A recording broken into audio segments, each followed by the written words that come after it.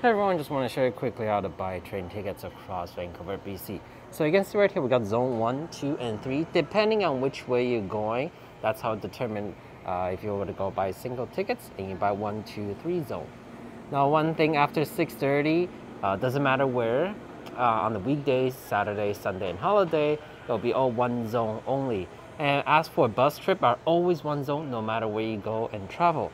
Now, two ways to buy. You got the adult and concession if you buy single tickets, or if you're traveling, you can buy a day, day pass. It'll be way easier. Or you can buy the concession for like the new Compass, right? So you can press new or load, either or. So you can buy month pass, day pass, or add store value, which is easier than you know constantly buying tickets by having one card do it all.